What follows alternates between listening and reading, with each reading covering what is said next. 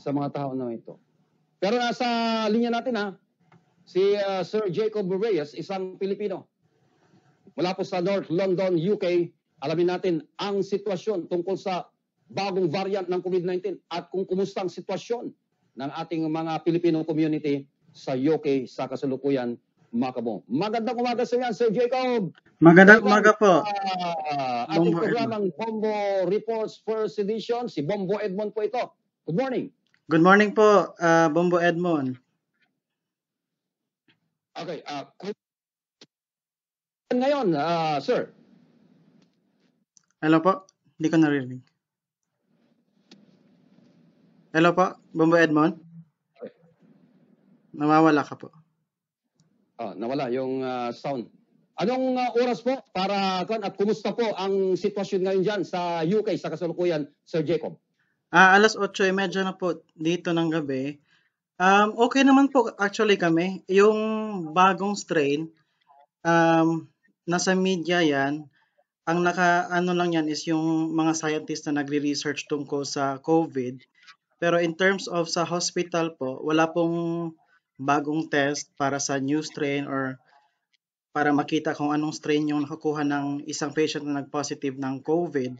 Ang mapapansin mo lang na talagang sa hospital ngayon, kung, lalo na kung saan ako nagtatrabaho, tumataas po talaga yung cases. Biglang tumaas ulit for some reason. Uh, yan nga sabi ng government, baka nga dahil sa uh, strain na hindi naman siya mas deadly, pero mas mabilis makahawa sa ibang tao?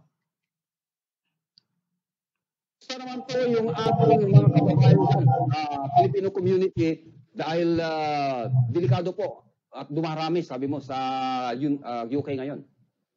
Opo, um, ever since na nagsimula po yung pandemic, um, maganda naman po yung Filipino community community dito, talagang nagtutulungan at uh, mostly nagtatrabaho sa um, healthcare. So meron pag natatrabaho, meron talaga kaming PPE naman, hindi naman nagkulang so far. Uh, sana nga hindi nga ito magkulang sa future. Marami na ding namatay sa doon sa first wave. So we're trying our best na sa itong second wave na to um, wala nang mamatay or at least ma-minimize siya kasi uh, tayong mga Pilipino at saka yung mga black minority and ethnic uh, according sa studies din dito, mas uh, mabilis daw mahawaan ng COVID.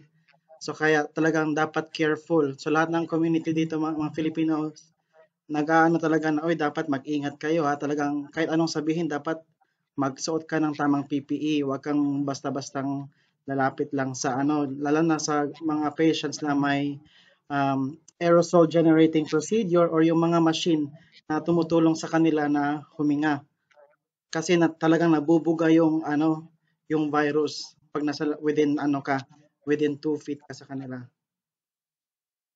2 meters sorry.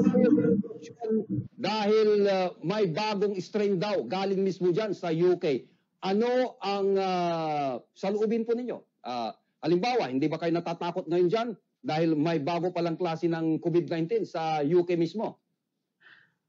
May iba naman na natatakot pero at I think para sa amin na nagtatrabaho sa healthcare sa hospital or sa community na mga nurses or mga healthcare na mga Pinoy, parang sa feeling ko nas nasanay na din kami na sa presence ng COVID.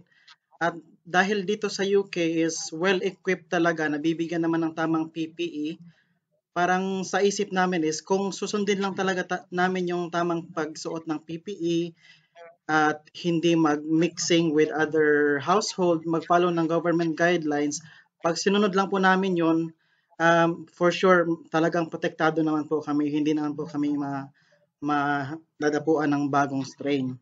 Pag sumunod lang talaga. Kumusta naman ang uh, sitwasyon, balita dyan, ano? dahil kayo ang unang-unang bansa na tinurukan ng uh, coronavirus vaccine. Mm-hmm. Uh, ikaw ba, uh, Sir Jacob, ay uh, pumapayag din na mabigyan ng vaccine na ito? Opo, syempre po. Um, nasa lista na po ako. Um, one week ago, kinuha yung pangalan ko. Naghihintay na lang po ako ng tawag. Um, marami nang kasama ko sa hospital, nagka-vaccine na, pati yung manager ko. Um, wala naman siyang masyadong ano, side effects na nakita sa ano lang, first 24 hours, which is normal lang din sa kahit anong vaccine. Talagang masakit yung ano mo, yung area kung saan ka na-inject, masakit talaga siya at magkaka, yung ibang tao magkakaroon ng konting swelling, pero up to 24-48 hours, mawawala lang din. So, wala naman po masyadong negative side effects na napapabalita or kahit nakita mismo sa hospital namin. So I'm I'm really up for the vaccine talaga. Mabuti naman at ah, nabanggit mo yan Sir Jacob, ano? yan sanang itatanong ko dahil kumakalat sa mga social media na delikado yung ah, bakuna na ito pero sa experience yan sa UK, wala naman yata, no? Wala namang ah, masyadong ah, side effect ng bakuna na ito. Ah, wala po, Bombo Edmond. Actually, nakita ko nga yung sa Facebook kanina, yung ano, yung may video na nurse na na-inject sa Amerika. Kaso yung video nila putol, sina, may iba nagsasabi na namatay daw, pero actually, hindi siya namatay, nahimatay lang. At saka yung nurse na yon pag may na-feel siya na pain, talagang nag-ano siya, nahihimatay. So, yung sa iba, ginawa nilang propaganda yun against the vaccine. Pero sa totoo lang po, um, wala pa naman pong namatay or talagang serious na ill effects ng vaccine. And pag naturukan ka ng vaccine, hindi dyan mismo maano mo yung effect kasi it takes two weeks for your body to process the vaccine. So, kung, for example, mahawaan ka ng COVID kasi nakipag-mix ka within two days after ka nakakuha ng vaccine, pwede ka pa rin magka-COVID at saka hindi ka pa protected. Two weeks or more pa yan mag-e-effect. So, dapat careful pa din. Okay. Sa kasalukuyan, may pinapatupad ba ang UK government ng mga lockdown o mga mas lalong istrikto na panuntunan po sa UK ngayon? Opo, at the moment, naka, yung buong London, saka Southeast England and East England, nakaano po, kami Tier 4 lockdown. Response po yun ng government sa rising cases. So kasi nung December 4, um, galing ng lockdown, binuksan ulit, pwede na ulit mag-mix, pwede magpunta sa restaurant, pero nakita ng government na biglang tumataas na ulit after na na-open ulit yung economy, biglang tumaas na bigla yung mga kaso, kaya ni-lockdown ulit. Lalo na po sa London, kasi yung London, maliit lang siya na area eh, pero ito yung pinaka-densely populated na lugar dito sa UK, kahit maliit lang siya na syudad. So, kaya nag-ano kaagad yung government na take measures to stop the um, increasing numbers of COVID positive cases. So, isang frontliner dyan, uh, Sir Jacob, ano? Ano ka, isang, ah, anong, ano sa hospital? Um, nurse po ako at sa ngayon, ah, deputy ward manager po ako ng medical assessment unit. So lahat ng mga ah, pasyente galing ng A&E pumupunta sa amin. Ah, sa ngayon, did, sa aming ward, doon sila naghihintay habang ah, naghihintay ng result. Pag nakuha na yung result, saka namin dadalhin sa ibang ward, whether positive or negative sila. So, masasabi ko na ah, yung ward namin, saka ako mismo, exposed na exposed din sa mga kahit anong posibleng infection na darating. Ah, kayo pala yung unang-unang mai-expose dyan sa virus na yan, na Sir Jacob?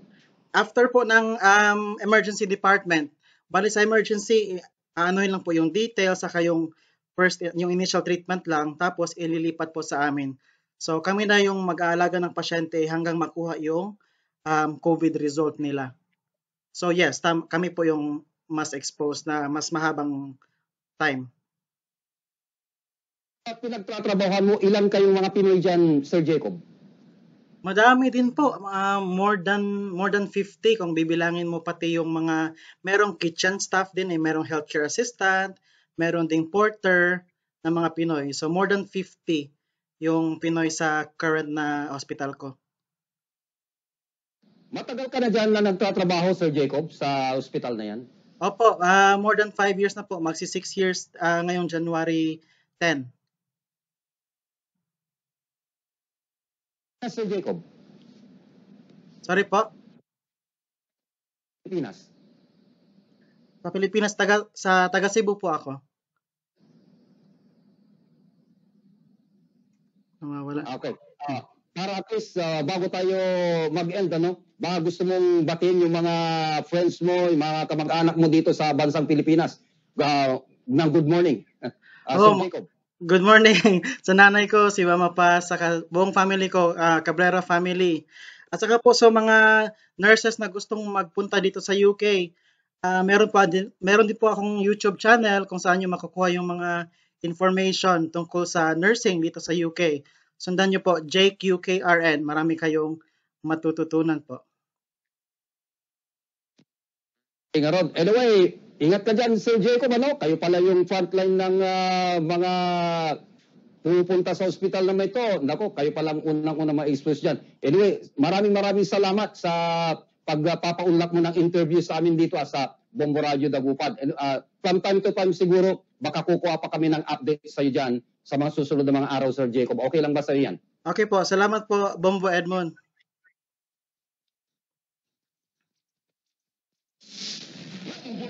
First Edition. Live and direct from UK. Yan ah, may bagong strain, nakakuha ng bakuna. Itong si ah, Sir Jacob, nakalinya daw. Hindi naman daw delikado eh. 8 hours talagang makakaroon ng ah, mga side effect sa iyong katawan, sabi nga niya.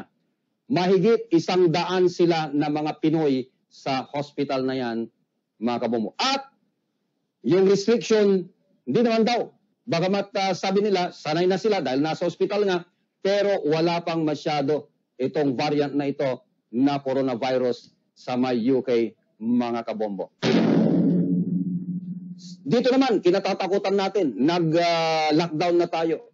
Hindi po natin pinapapasok ang mga flight galing ng UK.